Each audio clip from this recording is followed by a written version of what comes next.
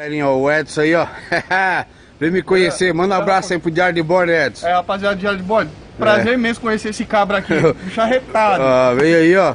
Vem passear aí, vem me conhecer. Estamos aqui na feira do cliente esperando, aguardando aí a, a, a- a- o cara liberar lá pra nós lá. O Edson vai.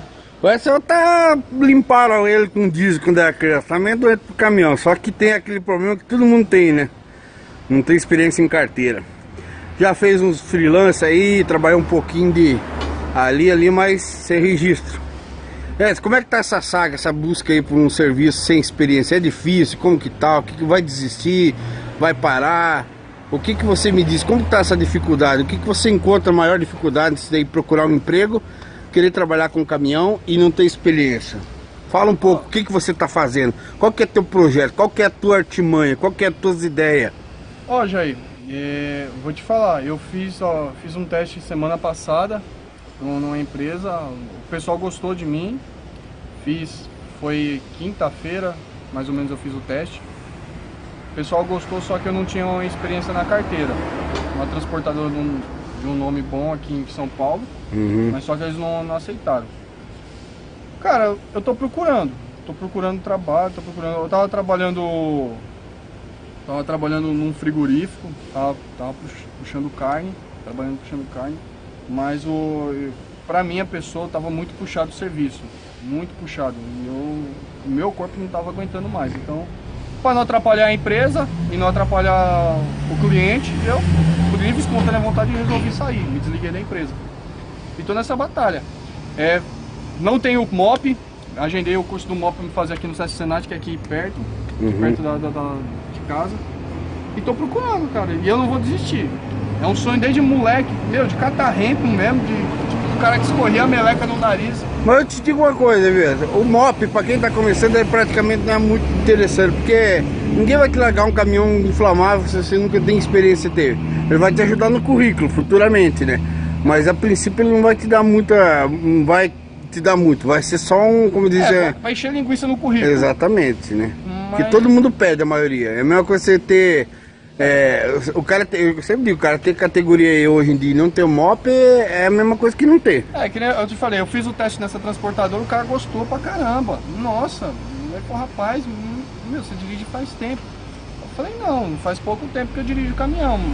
Ele falou, mas infelizmente por causa da sua. Você não tem experiência, não tem como você ficar aqui. E você, e- e isso te abala de que forma, Enzo?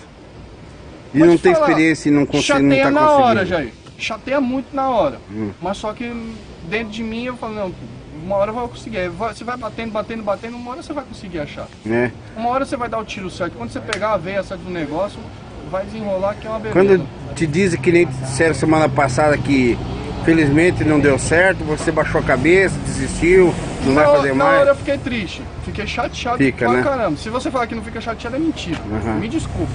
É hipocrisia da pessoa. Mas você fica chateado. Eu fiquei chateado pra caramba, mas só que eu não desisto não. Aham. Eu podia muito bem voltar no segmento que eu tava, que eu trabalhava na construção civil. Uhum. Podia, eu tenho, meu, portas. Pra você ter uma noção, eu tenho três Na empresas. tua área lá. três empresas que se eu ligar amanhã, eu volto a trabalhar, mas eu não quero. Eu quero seguir meu sonho. Eu tenho 32 anos de idade. Desde moleque eu sonho com isso. Eu não vou desistir. Não é agora. Não é agora. E você vai persistir, até dar certo. Vou. Muita gente já falou. Meu próprio pai falou pra mim que já é. Isso é vida de louco. Vida de louco, isso daí é vida de. Meu, você tem família. Sim, eu tenho família. Mas do que adianta você estar num lugar e não fazer o que você gosta? Vou passar a chave aqui você pra dar sorte, ó. Ó. ó. vai dar passa. sorte, ó. Passa, Ó. moço, Vai, passa, vai, vai te passa. dar sorte. Ah, Edson, é isso aí, Pia. Não desista do sonho, Não, vai não em vai. firme. Se você que tá afim, uma hora vai dar certo. Como deu pra mim, como deu pra um monte de, de pessoas. ah, Eu também muitas vezes bateram a porta na minha cara, saía triste, cabisbaixo, não tinha dinheiro nem pra passar de ônibus, ia a pé, corria num lado, corria no outro, tentar de um jeito, vai no material de construção, pegavam um 608, qualquer coisa. Só te digo uma coisa, procure tudo que é coisa, mas procure um registro com um motorista na carteira. Nem que seja pra você carregar merda de galinha. Mas tiver lá escrito motorista na carteira, é, o que vai te abrir as portas. Diz, ó, você vai catar ali cocô de galinha e vai carregar daqui pro outro lado. Lá e de lá você vai descarregar. Mas tá lá na carteira, motorista. é o que você vai te abrir as portas. Nem que seja seis meses, oito meses, mas vai, vai em frente, guri. Um abraço, tudo de bom, obrigado, aí. Manda um abraço pra galera aí. Abraço pra rapaziada do Diário do O Boy. que, que você achou de mim? Sou mais feio, feio pessoalmente ou assim? É um cabra retado, gente boa pra caramba. Valeu, guri. Um abraço. Abraço, galera. Falou. Tudo de bom.